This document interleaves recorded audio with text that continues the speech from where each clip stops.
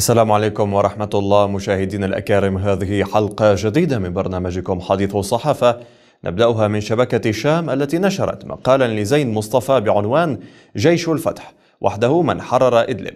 يقول فيه الكاتب بأنه ليست جبهة النصرة من حرر إدلب وليست حركة أحرار الشام من حررها ولا حتى جند الأقصى ولا أي فصيل له الحق بالقول أو الحسم أنه من حرر أو طرد المحتل عن الأرض. إنما من حرر هو جيش الفتح والتسمية التي يجب أن تطلق التي يجب أن يتم ترديدها التي يجب الإصغاء لها هي جيش الفتح. والنجاح جاء بفضل التوحد فقط والتوحد وحده من أفضى لهذه النتيجة. فلا راية هذا أو ذاك ولا قوة سين أو عين وإنما القوة المشتركة وهذا ما يجب أن نكون عليه لنقطع الطريق أمام الجميع. ونقصد الجميع بكل ما تحوي الكلمة من معنى وتوجهات واتجاهات فلا تهليل لهذا الطرف أو لتلك الراية. بل التهليل بالاتحاد والتوحد والتنظيم والعمل المشترك وكل من يركز على طرف بعيد عن الجسم الموحد ما هو إلا عابث أو باحث عن إعادة الفرقة وتعزيز التشتت. ولا شك أن الرؤية الموحدة نحو هذا الأمر ستكون سدا منيعا أما المحاولات التي تهدف إلى إصباغ العمل الثوري السوري بلون واحد رؤية تدفع العالم للامتعاد من أي تقدم للثوار على الأرض أو أي نجاح لهم على المستوى السياسي أو المستوى الآخر. فالعيون فاحصة والأيادي تحاول العبث والتخريب بشكل حثيث وخبيث ودنيء. لا أقصد إنقاص الفرحة بعودة إدلب إلى حضن الأحرار ولكن يجب أن نتوجس أمام من يسعى لدس السم في اللبن.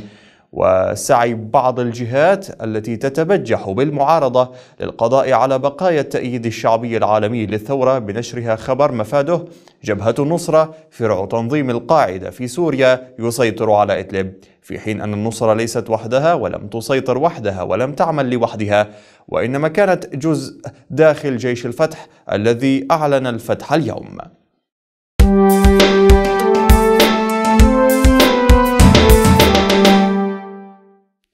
صحيفة القدس العربي نشرت مقالا لفيصل القاسم بعنوان لماذا لا تتعلم إيران من الاتحاد السوفيتي البائد؟ بهذا السؤال عنوان فيصل القاسم مقاله شبه فيه إيران بالسوفييت الذين استخدموا أسطورة الشيوعية لخلق قوة عالمية بينما إيران تستغل الأيديولوجية الدينية المذهبية للتمدد في أكثر من مكان في هذا العالم موضحا أنها لا تكتفي بتطبيق نظرية ولاية الفقيه داخل البلاد والحكم بموجبها بل تحاول تصدير ثورتها التي لطالما هددت الجيران بها. بطرق جديدة تقوم على دعم المذهب الشيعي هنا وهناك واستخدام الشيعة خارج حدودها في معاركها وحروبها التوسعية. وإذا لزم الأمر لا بأس في تشييع الآخرين. تماما كما كان يفعل السوفييت الذين جندوا ملايين الأشخاص في العالم تحت راية المطرقة والمنجل. ورأى القاسم أن التجربة الإيرانية مقارنة بالتجربة السوفيتية في التمدد خارج البلاد عبر الأساطير الأيديولوجية والروحية تعتبر أكثر خطورة لافتا إلى أن الانتماء العقائدي السياسي السوفيتي انتهى في كل أنحاء العالم تقريبا بسقوط الاتحاد السوفيتي بينما الانتماء المذهبي والتشيع الذي تعتمد عليه إيران في المنطقة لتوطيد نفوذها سيكون شرارة قد تشعل حروبا مذهبية لا تبقي ولا تذر وتتجلى ملامح هذه الحروب في رد الفعل العربي والإسلامي على التورط الإيراني الفاضح في سوريا والعراق ولبنان واليمن. وأكد القاسم أن إيران تلعب لعبة خطيرة للغاية سيذهب جراءها ضحايا كثيرون من السنة والشيعة على حد سواء مبرزا أن اليمن يشتعل على أساس مذهبي وكذلك العراق وسوريا ولبنان وكذلك إيران نفسها بدأت تدفع أثمانا باهظة جدا لحروبها التوسعية ليس فقط من ثرواتها بل أيضا من أشلاء أبنائها خاصة بعد أن بدأت مئات الجثامين تصل طهران من ساحة الحرب السورية والعراقية واليمنية. وختم القاسم مقاله متسائلا هل تعلم إيران أن القوى الكبرى سمحت لها أن تتمدد كي تتبدد لماذا لا تتعلم إيران من الاتحاد السوفيتي الذي كان من الخارج رخاما ومن الداخل سخاما؟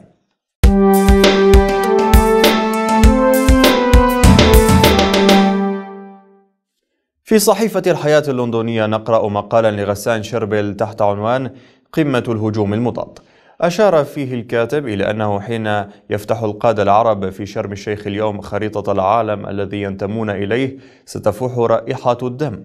الدم السوري والعراقي واليمني والليبي والصومالي فضلا عن دم القضية المركزية أو التي كانت تحظى بهذا الوصف. موضحا أنهم إذا أمعنوا النظر استقبلتهم الأهوال خرائط ممزقة وشعوب تائهة ودول مفككة وحدود منتهكة وجيوش متهالكة وأسراب من الظلاميين وميليشيات عابرة للحدود وسكاكين مذهبية وحدها مصانع الجثث والأرامل والأيتام تعمل بكامل طاقتها. وبعد أن لفتا إلى أن تطورات اليمن وباب المندب أدت إلى قيام تحالف مؤثر أطلق عملية عاصفة الحزم وهي عاصفة لم يتوقع كثيرون إمكان هبوبها. رأى الكاتب أن التحالف الجديد المنطلق من تحالف سعودي مصري شكل أول محاولة عربية جدية لتعويض غياب الدورين العراقي والسوري معا. وأكد الكاتب أن ولادة نواة عربية مؤثرة ستمكن العرب من التحدث إلى القوى الإقليمية والدولية من موقع آخر وستعطيهم أيضا حق التقدم لمعالجة الملفات العربية الساخنة أو على الأقل حق الحضور في هذه المعالجات مشددا على أنه حين يسترجع العرب قدرتهم على تقديم أنفسهم لاعبا مقنعا على أرض المنطقة ستتراجع شهية الآخرين في تسجيل اختراقات في داخل الملعب العربي.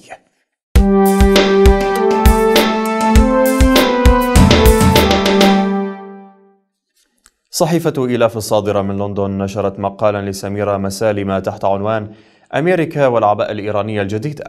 أشارت فيه إلى أن أمريكا تراهن اليوم على قدرتها في كسب معركتها في منطقة الشرق دبلوماسيا دون زج جيشها في أي معركة تعتبر نفسها بها خاسرة سلفا أمام الرأي العام الأمريكي الذي يطالبها فعليا بترك ساحات القتال المشتعلة في أكثر من مكان وتوفير عامل الأمان لجندها الذين يعتبرهم الشعب ضحية سياسات فاشلة للإدارات الأمريكية. ولفتت الكاتبة إلى أن تقدم قوى المعارضة في سوريا وانتصاراتها في أكثر من مكان من درعا إلى إدلب قد لا يكون بإرادة أمريكية لكنها لن تتورع هذه الأخيرة على اعتباره نقطة قوة لها في معركتها التفاوضية مع إيران. موضحة أن ذلك يجعل المسؤولية أكبر على قوى المعارضة السياسية الممثلة بالائتلاف الوطني لقوى الثورة والمعارضة بتحصين هذه الانتصارات وإلزام حلفائهم من دول خليجية وغربية بالإضافة إلى تركيا بمساندة الفصائل وتثبيت تقدمها كورقة أخيرة للائتلاف بتثبيت وجوده كممثل شرعي للشعب السوري حسب مقررات الجامعة العربية في الثالث من شهر آذار لعام 2013 وأصدقاء الشعب السوري. وأبرزت الكاتبه أن إنجاز الاتفاق الأمريكي الإيراني الذي سيغير وجه المنطقة عموما يثير ريبة الدول الإقليمية جميعها بما فيها الحليف الاستراتيجي لأمريكا إسرائيل منوهة إلى أن تركيا ليست بعيدة عن شعورها الذي تجاوز القلق إلى مرحلة الحذر المتأهب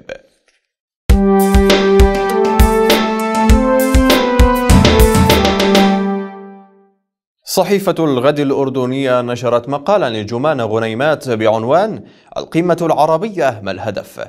تطرقت فيه إلى انطلاق اجتماعات القمة العربية أمس في شرم الشيخ بمصر والدول العربية تمر بأزمة على مستوى الدول كما على مستوى التحالفات مشيرة إلى أنه مع تعمق حالة الوهن العربي وغياب الرؤية العربية المشتركة في مواجهة التحديات يبدو المد الإيراني مدفوعا بدعم أمريكي كبير في ذروته سعيا إلى السطو على باقي المنطقة العربية.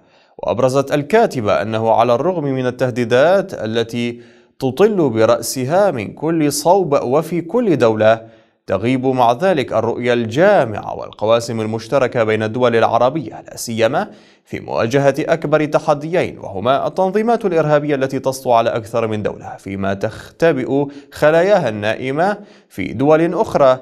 والتهديد الإيراني الآخذ بالاتساع مقابل انحسار الدور العربي وغياب الإرادة لمواجهة هذا التحدي وتبعاته. ورأت الكاتبة أن هذه القمة ستمر على الأغلب وفق سيناريو سابقاتها وإن كان الملف الأكثر سخونا الذي يتصدرها هو الحرب التي أعلنتها السعودية على الحوثيين في اليمن ضمن تحالف عريض يدعم المملكة في رسالة ربما تمثل لأول مرة منذ سنوات فعلا وليس رد فعل.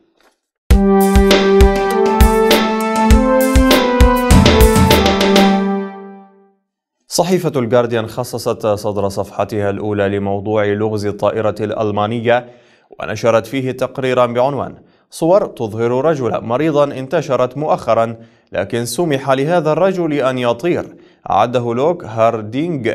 يقول لوك في تقريره إن أندرياس لوبيتيز كان قد عمل في مطعم برجر كينج للوجبات السريعة قبل أن يصبح مساعد طيار وكان راتبه 400 يورو. ثم ترك الوظيفة في برجر كينج والتحق بشركة لوفتهانزا كما يقول مديره السابق ديتليف ألدوف.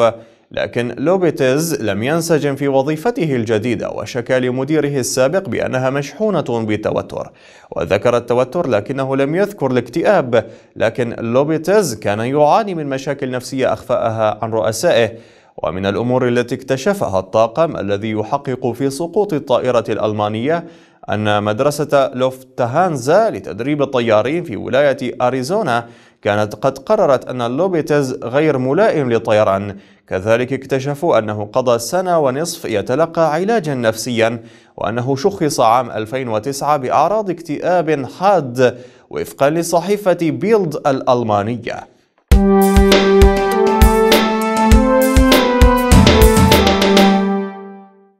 صحيفة أكشم التركية نشرت مقالا لأفق أولطاش بعنوان عملية عاصفة الحزم حيث يتساءل الكاتب قائلا كيف وصلنا إلى مرحلة دخول السعودية عسكريا إلى اليمن؟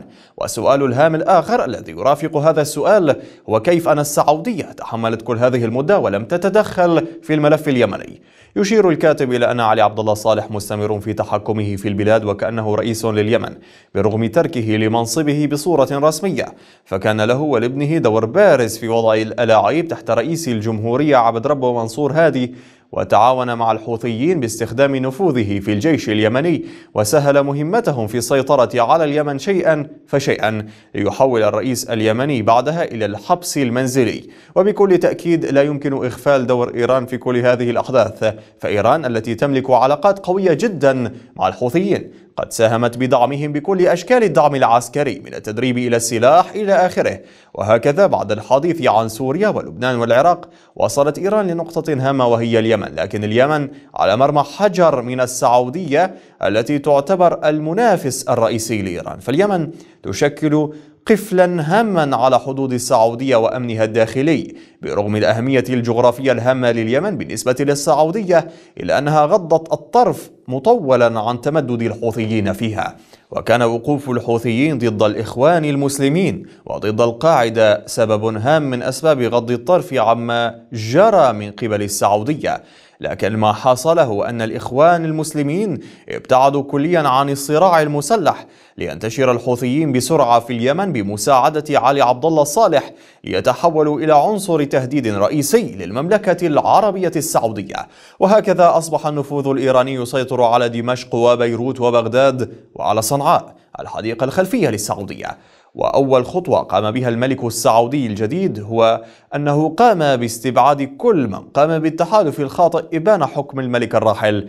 أصبح الشرق الأوسط يقاد بحروب الوكالة فاليوم لا نرى من يقود الحروب فعليا في العراق ولبنان وسوريا واليمن في الساحة. وإنما يقودونها من خلال وكلائهم. لكن إيران دفعت بكل قواها في العراق وسوريا ليس من أجل دعم وكلائها هناك فحسب وإنما من خلال بسط أحذيتها في تلك الدول. فبدأت تقود العمليات بصورة مباشرة في حين كانت السعودية مشغولة بمحاربة الظلال. لكن في اليمن ارتكزت السكين على العظم لهذا اضطرت السعودية إلى الدخول في اليمن بخلاف الوضع في سوريا والعراق في المقابل تدل كل الأمور والدلالات على أن ما يجري هو تصفية حسابات فيما يحصل هو تصارع قوتين مذهبيتين برغم استخدام إيران لعنصر المذهب بصورة أكبر من السعودية إلا أنه في المحصلة أكثر من يدفع الثمن هي شعوب هذه المنطقة للأسف. بهذا المقال مشاهدينا الأكارم نكون قد وصلنا لنهاية الحلقة لهذا اليوم. نشكركم دائما على حسن المتابعة والسلام عليكم ورحمة الله وبركاته.